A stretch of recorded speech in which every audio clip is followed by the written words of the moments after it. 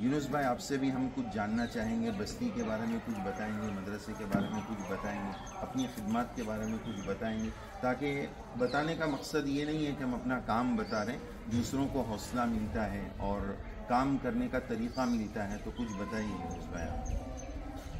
یہ تلاجہ تعلقہ ہے، یہ تلاجہ تعلقہ کی سٹی ہے۔ یہاں مسلمان کے سولہ سو سترہ سو گھر ہیں۔ یہاں ہمارے ڈیڑھ سو، دو سو کلو میٹر تک کہیں مدرسہ نہیں تھا۔ تو ہم لوگوں نے سوچا کہ بھائی، لڑکوں کے تو مدرسے ہیں لیکن لڑکیوں کا بھی مدرسہ ہونا چاہیے۔ میری خود کی لڑکیوں کو مجھے تعلیم دینا تھا، تو میں نے سملک اور پانولی میں اس کو تعلیم دیا۔ اس کے بعد ہم لوگوں نے سوچا کہ بھائی، مدرسہ بناتے ہیں۔ تو مولانا وسطانوی صاحب کا سمپرک کیا۔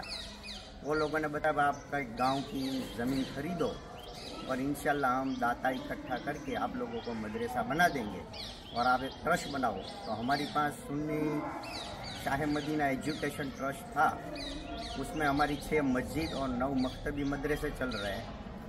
تو ہم لوگوں نے یہ ٹرسٹ کے نام کی زمین خریدی اور مولانا نے محنت کر کے یہ مدرسہ بنا بنا دیا۔ اور یہ ہمارے ٹرسٹ کے نیچے چل رہا ہے۔ اور میں شاہ مدینہ ایجوکیشن ٹرسٹ کا پرمکھ ہوں۔ السلام علیکم ورحمۃ اللہ وبرکاتہ۔ بھائیوں، بہنوں، دوستوں، بزرگوں، عزیزوں، امید ہے آپ سب خیریت اور عافیت سے ہوں گے۔ آج انیس رمضان مغرب میں افطاری کے بعد ہمارے عزیز القدر جناب مولوی الطاف زید مجدہو کا جو بھاؤ نگر گجرات سے تعلق رکھتے ہیں، مہوا سے تعلق رکھتے ہیں، ان کا فون آیا اور میسج آیا اور انہوں نے ایک بڑی صدمے اور غمگین کر دینے والی خبر ہمیں سنائی۔ اچانک یہ خبر سن کر دل دھک سا رہ گیا اور یہ بتایا کہ بھاؤ نگر کے قریب اور مہوا کے قریب ایک بستی ہے تلاجہ۔ اس جگہ کی ایک معروف و مشہور شخصیت جناب یونس بھائی جمال بھائی دساڑیا۔ وہ اللہ کو پیارے ہو گئے، ان کا انتقال ہو گیا۔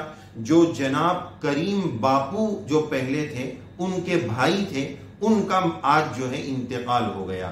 تو انا للہ و انا الیہ راجعون۔ ان للہ ما اخذ وله ما اعطى وكل شيء عنده باجل مسمى۔ ہم اپنی جانب سے اور ہمارے چینل کی ٹیم کی جانب سے ان کے جتنے متعلقین رشتہ دار ہیں، گھر والے ہیں سب کی خدمت میں تسلی کے کلمات بولتے ہیں تعزیت مسنونہ پیش کرتے ہیں اور دعا کرتے ہیں کہ اللہ تعالیٰ مرحوم کی بال بال مغفرت فرمائے، ان کے درجات بلند فرمائے، اعلیٰ علیین میں جگہ نصیب فرمائے، جنت الفردوس میں مقام عطا فرمائے۔ پسماندگان گھر والوں کو، ان کے بچوں کو اللہ تبارک و تعالیٰ صبر جمیل نصیب فرمائے۔ ہم سب کی خدمت میں تسلی بھرے کلمات پیش کرنا چاہتے ہیں۔ اللہ تعالیٰ ان سب گھر والے والوں کو بے حد صبر نصیب فرمائے۔ ابھی تقریباً ایک مہینہ پہلے اس آجز کا مہوا کی طرف سفر ہوا تھا اور ان سے بہت پیاری اور خوشگوار ملاقات ہوئی تھی۔ جیسا کہ آپ نے ویڈیو کے شروع میں دیکھا، اللہ تبارک و تعالیٰ نے اس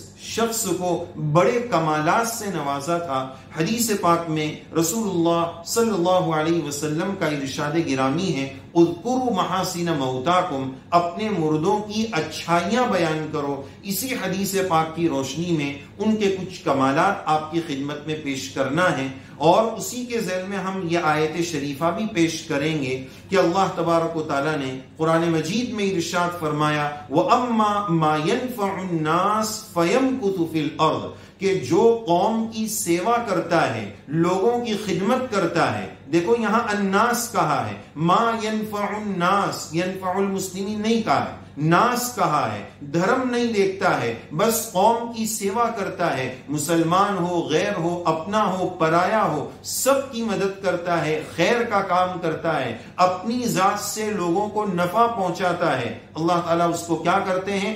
فیم کسف الارض زمین میں اس کو جما دیتے ہیں، اس کی عزت بڑھا دیتے ہیں۔ لوگ اس کو سیلیوٹ کرتے ہیں، اس کے مقام اور مرتبے کو سمجھتے ہیں۔ جب ان کے انتقال کی اس عاجز نے خبر سنی اور وہاں جانے کے بعد ان کے جو کمالات اور ان کی دینی خدمات اور مالی خدمات اور جذبہ تعاون سنا تھا، فوراً یہ آیت شریفہ اس عاجز کے ذہن میں آئی تھی۔ ان کا اور ان کی برادری کا، ان کے گھر والوں کا اور ان کے بھائی جو بڑے کریم باپو تھے ان کی جو خدمات تھی، اس کی وجہ سے اللہ تعالیٰ نے اس علاقے تلاجہ میں ان کو ایک مقام اور مرتبہ عطا فرمایا تھا۔ بہرحال، اللہ تعالیٰ نے ان سے بہت سا کام لیا۔ جس مدرسے میں ہم گئے تھے، مدرسہ صدیقہ عائشہ رضی اللہ عنہ وہ لڑکیوں کا مدرسہ انہی کی فکروں سے اللہ تبارک و تعالیٰ نے بنوایا تھا۔ حضرت مولانا غلام احمد صاحب وستانوی اللہ تبارک و تعالیٰ حضرت کی عمر میں برکت نصیب فرمائے۔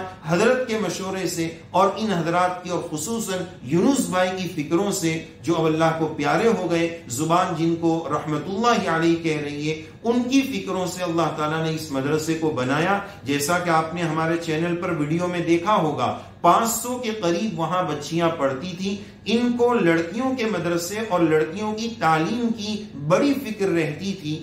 انہوں نے اپنی بچیوں کو بھی علم دین میں لگایا، عالمہ بنایا اور سملک وغیرہ مدرسوں سے ان کی بچیوں نے پڑھا اور تعلیم نسواں سے ان کو ایک خاص منصب مناسبت تھی کہ لڑکیوں کی تعلیم اچھی ہونی چاہیے، دینی تعلیم ہونی چاہیے، جو بہت اچھا جذبہ تھا۔ جیسے کہ کہا جاتا ہے، مرد پڑھا تو فرد پڑھا، عورت پڑھی تو خاندان پڑھا۔ اسی جذبے کے تحت انہوں نے وہ مدرسہ بنایا تھا۔ آج یہاں اس مدرسے میں پانچ سو لڑکیاں وہاں پڑھ رہی ہیں۔ بہرحال کسی جگہ امام کی ضرورت ہو، مالی تعاون کی ضرورت ہو، امام کی تنخواہ کی ضرورت ہو، مسجد میں، بستی میں کوئی دینی خدمت کی ضرورت ہو، تو وہاں کے جانکاروں نے، متعلقین نے بتایا کہ یونس بھائی سب سے آگے رہا کرتے تھے اور اپنی مالی خدمات پیش کیا کرتے تھے۔ اور سماج سیوا، سوشل ورک میں بھی اللہ تبارک و تعالیٰ نے ان کو بہت اچھا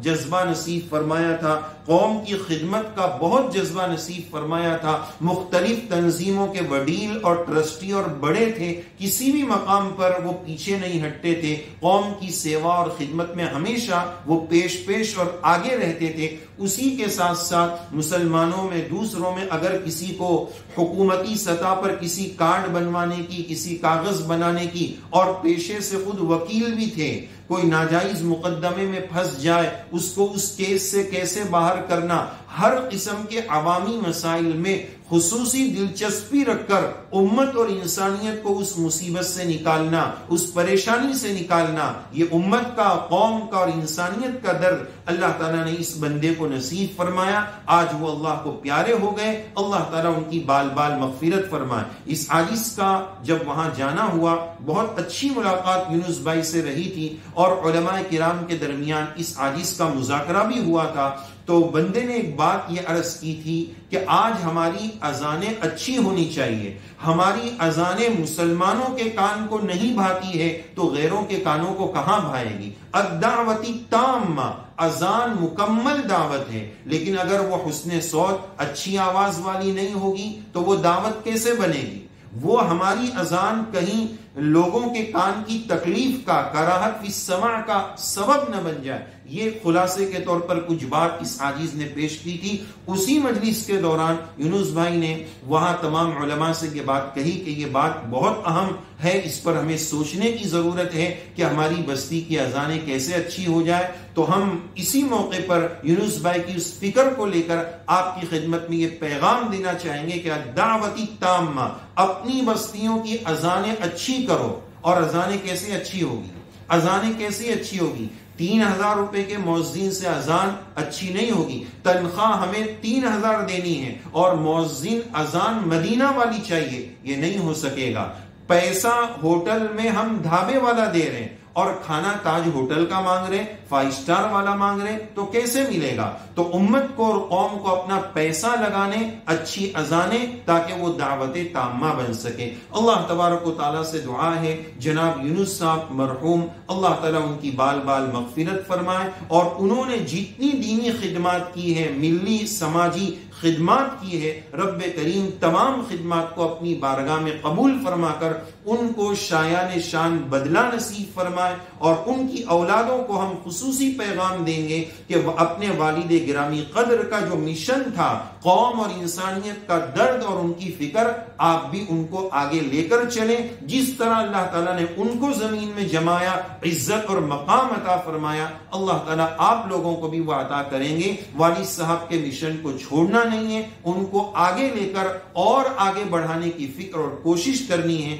اللہ اللہ تعالیٰ ہم سب کو انسانیت کا درد، فکر اور امت کا غم نصیب فرمائے اور یونس صاحب کے درجات خوب بلند فرمائے، گھر والوں کو صبر نصیب فرمائے، آمین یا رب العالمین۔